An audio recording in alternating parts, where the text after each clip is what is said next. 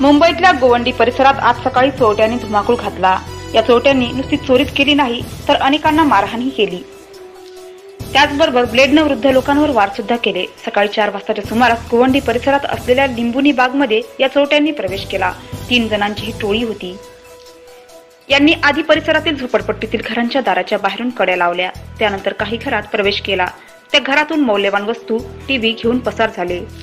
त्याचवेळी कांबळे यांच्या घरात चोरी केली असता त्या घरातील वृद्ध माणसाने ते पाहिले. चोराला पकडले असता त्या चोराने त्यांच्यावर ब्लेडने वार केला. यात ते जखमी झाले. त्यांनी आरडाओरडा केल्यानंतर परिसरातील नागरिक जमा झाले आणि तिन्ही चोरांना पकडण्याचा प्रयत्न केला. परंतु त्यातील एकच चोर त्यांच्या हाती लागला. दोघे जण पसार झाले. या घटनेची माहिती देवनार पोलिसांना देण्यात आली. आणि देवनार पोलीस घटनास्थळी आले. एका चोराला पोलिसांच्या स्वाधीन करून स्टेशनला नेले. देवनार पोलीस पुढील तपास करीत आहे.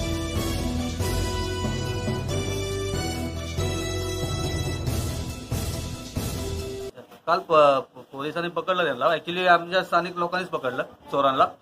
आणि हे त्याच्यामध्ये एकाला मार पण लागला. एकाला मार पण लागला. हे ती- तीन घरं आपल्या गलीतले त्यांनी फोडले कपाट वगैरे सगळं तोडून सर्व सामान अस्ताव्यस्त केलंय.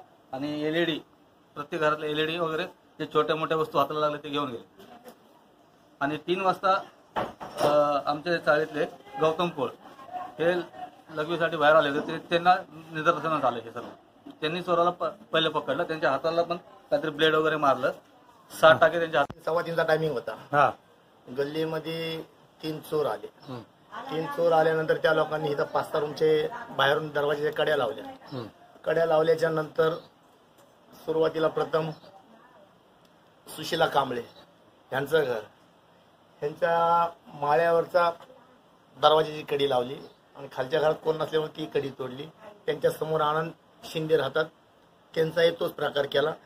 आनंद शिंदेच्या समोर हरिश्र हरेंद्र गायकवाड राहतात. त्यांच्याही घरी त्यांनी तो पराक्रम केला. तेवढं